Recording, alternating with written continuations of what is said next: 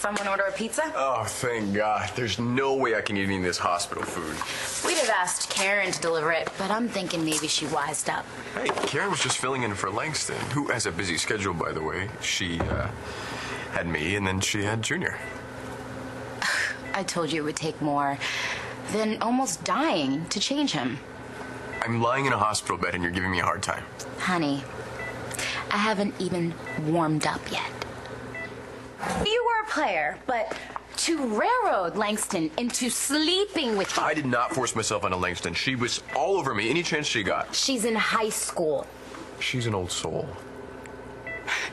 She had a boyfriend until you messed it up. Oh, come on. She was so over Markko, it was pitiful. Which is not my fault, by the way.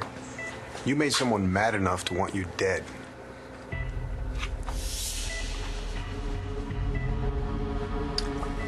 Great. Now you're blaming the victim. Look, nobody deserves to be beat up like that, but. What you did is wrong. You hurt Markko, you hurt Langston, and who knows who else. Okay. What? I, I appreciate you coming with me, but I can talk to Ford alone. I know you can, which means I'm still going in with you. Kelly. No, come on. Just as backup, Jessica.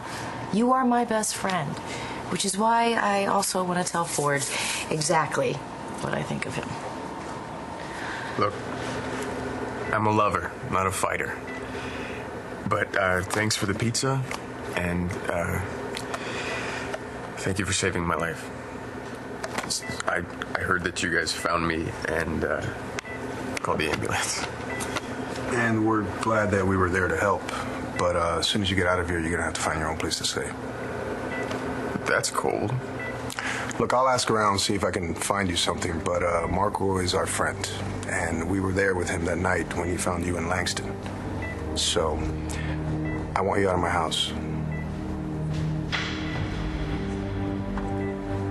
Hey, Jess. Hey, Did you come see Ford?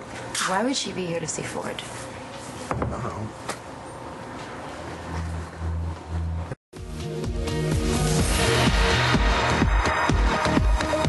To the two of you, actually, especially you, Layla, I wanted to congratulate you on your engagement. And I, I just wanted to say how sorry I am uh, about how I acted trying to break you two up. I, I wasn't myself. Jess, come on. We told you we understand. And you were impossible. But Cristian and I are getting married, and you and Brody are back together. So it's all good. Thank you. Later. Bye, guys. Was I too hard on Ford I kicked him out, remember? after I tore him a new one? Every marriage needs a pit bull. Excuse me. Oh, well, see, you're pretty tough. And all you have to do is use that juice and tell your mom that you're marrying me. You would have to bring that up. Don't you think it's time? My mother's life revolves around Evangeline. I'm not that important. That's not true. And you're not exactly her favorite person. We have to tell her, Layla. She's your mother. You feel like driving to Maryland. Only if you promise not to turn back. Are you going to be the kind of husband who's always right? If you're lucky.